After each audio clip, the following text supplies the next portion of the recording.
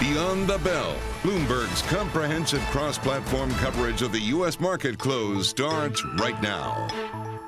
And right now, we are two minutes away from the end of the trading day. Romaine Bostick, Caroline Hyde, Taylor Riggs counting you down to that closing bell on this Tuesday afternoon. Here to help take us beyond the bell. It's our global simulcast. Carol Massar, Tim Stenovec. We welcome in our audiences across Bloomberg Television, radio, and YouTube. Carol, looking at a market right now off the lows of the day, but still down significantly. The S&P back in correction territory on elevated volume and elevated volatility. Yeah, absolutely. So a lot of conviction, right? Investors really not finding any opportunities in this market. We're hearing a lot of conversations that are talking about cash as the place to be right now, Tim. Yes, one of those conversations we just had with Ella Hoxha, the senior investment manager at Pictet Asset Management. She told us she's been adding to her cash position as to when she's going to redeploy that cash into the market. She says she's going to need more clarity on what exactly is going on. More clarity that we slowly get the drip feed from individual corporates as they search for their focus. Nike saying it can't guarantee delivery of goods in Russia. We have Snap pulling back on its advertising in Russia, Ukraine, Belarus.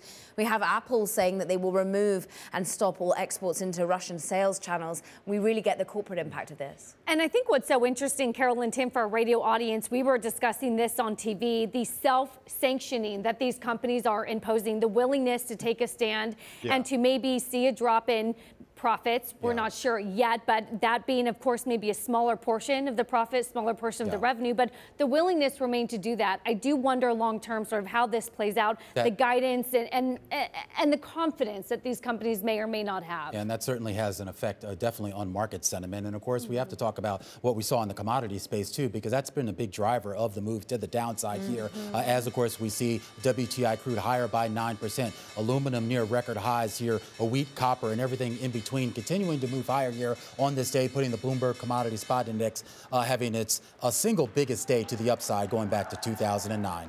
Here's your roundup here on the broader indices right now. The Dow Jones Industrial Average is going to finish the day lower by about 1.8%, basically about down by about 600 points. It's now about down about 9% from its all-time high. The S&P lower by 1.5%, and it looks like it's going to close the day about 9.96% below its all-time high. The Russell 2000 down about 2% here on the day, and there's your Nasdaq Composite right now, uh, having a pretty rough day here, uh, although it's lower off the lows of the day, down about 1.6%. Carol does feel like global companies have gotten the uh, memo. Universal Pictures just crossing the Bloomberg. It's pausing planned theatrical releases in Russia. So, again, increasingly, Taylor, we are seeing the global corporate community push back against Russia. Yeah, really interesting, of course, Carol. We're going to get to some of that sector as quickly as we do for our radio audience. We'll make sure to tweet this out for the TV audience. Look, it's a lot of red on the screen, but this is a chart that just shows the drawdown that we've had from, remember, that January 3rd peak on the S&P 500. We're off now about 10.2%, so further back in correction territory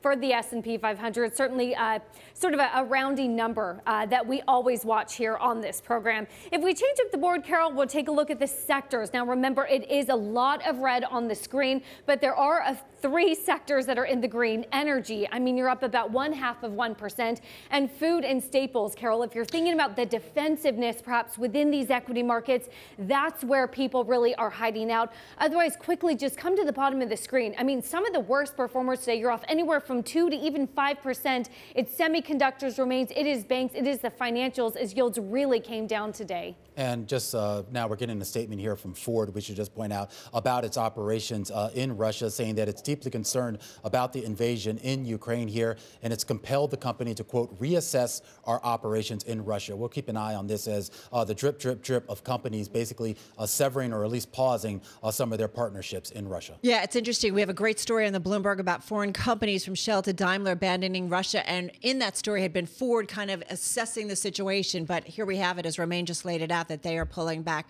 All right, Taylor was talking about the sectors. I saw a little bit of green in the retail, and that probably was because of Target. Target was up about 10% just off its highs of the session, top of the S&P 500, soaring after reporting fourth quarter earnings jump and saying more to come. And that's what surprised Wall Street, that it wasn't just about a pandemic boom.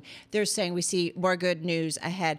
Want to mention EPAM Systems. Romaine talked about it. Tim talked about it yesterday. Stock was down 45% in the trade uh, yesterday, gaining, it was up as much as 11% today. At the close, up about 1.6%.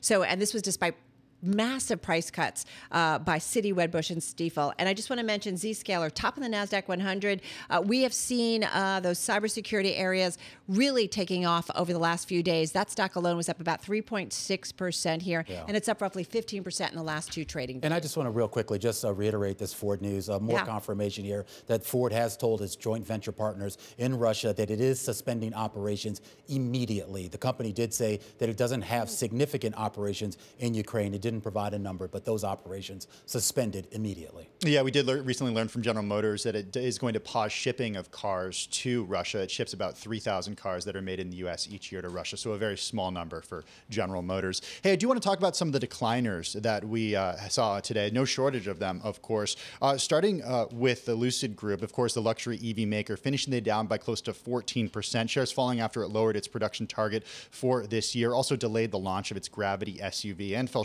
short of its delivery goal for 2021. I, I think that's a big deal. Yeah. Right? I mean, I know well, Lucid's small, but the idea that they cite the supply chain yeah. issues, and we put so much attention on all these automakers ramping up production of these EVs, are they even capable of doing that right now? Well, that's the question, and certainly Lucid's not capable of doing it. Yeah. But if you're a Tesla, you have been able to manage the supply chain challenges relatively well.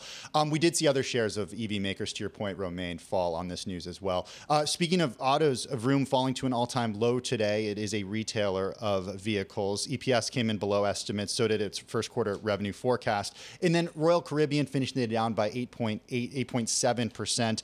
Uh, airlines, cruise lines, hotel stocks dropped dropping for a second straight session today, continuing to underperform the broader market over concerns about people not traveling and, of course, rising fuel costs as well and that risk off tenor really, I mean, across the board, you get a perfect perspective if you go cross asset because the moon music just summarized in global macro movers. For our radio audience, I'm looking at a sea of red in foreign exchange, all apart from the Bloomberg dollar index, up almost five tenths of a percent. Biggest move in the dollar since January the 28th, as we see money pull out of basically any other area they don't see as a haven. We see the British pound off by seven tenths of a percent. We see the euro off by seven tenths of a percent as people pull back on any sort of rate hike bets for the ECB. I'm looking, though, at in the face of a strong dollar, a seismic shift in the space of commodities. You are seeing the Bloomberg Commodity Index having its strongest day since March 2009. WTI crude up 8%. Brent crude also up to a similar degree. You're seeing steel up 1.8%. Metals, soft commodities also powering higher.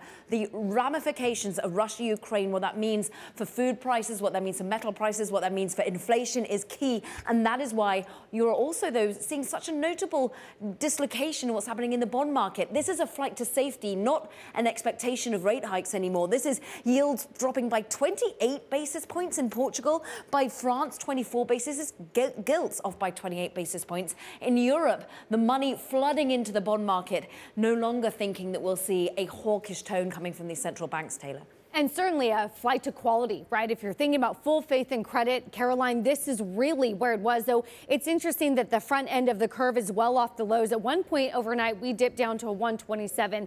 We closed the day here at a two year yield of a 135. You're still down in yield nine basis points on the day, but nowhere near sort of the big lows of the session.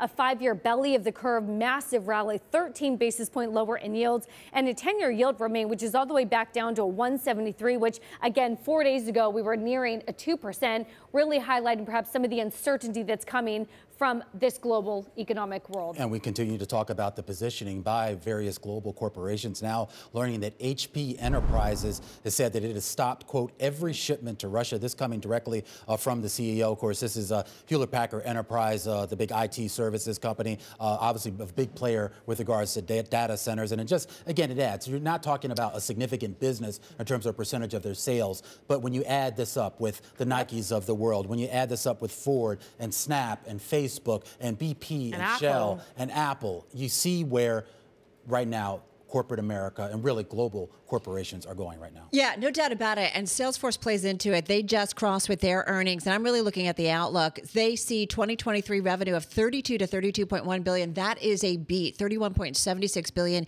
is the estimate that's out there. This stock is up in the after hours by several percentage points. We're bringing up the chart here, and it looks like it's up what about 4.6 percent here. Also, adjusted EPS for 2023 462 to 464. That looks like it's a little light quite, but to see that top line certainly out. So raising its fiscal year 23 uh, revenue guidance, and that's what investors are definitely focusing on, Tim. Hey, I want to go back to what we were talking about earlier with all the news of companies ceasing operations in Russia or exiting their businesses in Russia, or at least putting them on pause, from Hewlett Packard Enterprise to Nike uh, to Apple. And I, and I wonder what the how this ends, like how this what ends up happening if we actually play this out. It, does it turn into a situation where these companies, if if Russia ends up actually taking Ukraine, does it turn into a situation where all of these companies stop doing business in that entire area?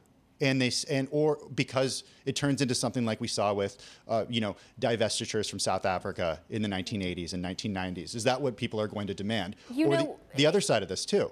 It's a good question. I, I would only note, though, here that companies are still engaging in share buybacks. They're still raising dividends. They're still raising their full year guidance. So they're trying to show at least some confidence here within the business. And we haven't really quite seen it hit the bottoms line yet. We've had multiple companies come out and continue to talk about they're so confident in the company, they're engaging in these share buybacks. And maybe that is why they are able to take these stances because ultimately it doesn't have that much of an impact from mm-hmm. a profitability profitability basis, from a sales basis, but this has impact on the Russian community, on people there, for once again an erosion in terms of their overall savings and ability to buy goods. Right, and as they are, if they yeah. are increasingly isolated, there are a lot of implications yeah. of that, certainly on a global what, scale. What do you want your brand to be associated with? Yeah. Well, exactly. and, and we know employees That's, right now are speaking up and saying, hey, folks, you know, leaders of companies, we want you to stand up and take positions on this. We see the sports community doing that in a big way. That's why it seems to me it's less of a choice for a lot of these companies and what they actually have to do right now.